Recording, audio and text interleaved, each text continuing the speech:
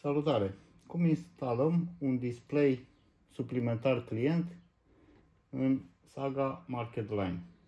Administrare, configurare program, periferice. Aici în partea de jos avem o bifă, folosește afișaj client. Ne alegem comu, unde este instalat afișajul de client. Salvez.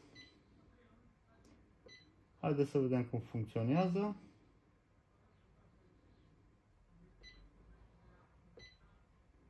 Articol test. O bucată, trei bucăți, ne scoatem o bucată, ne mai scoatem o bucată, ștergem bonul, ne punem un produs pe bon,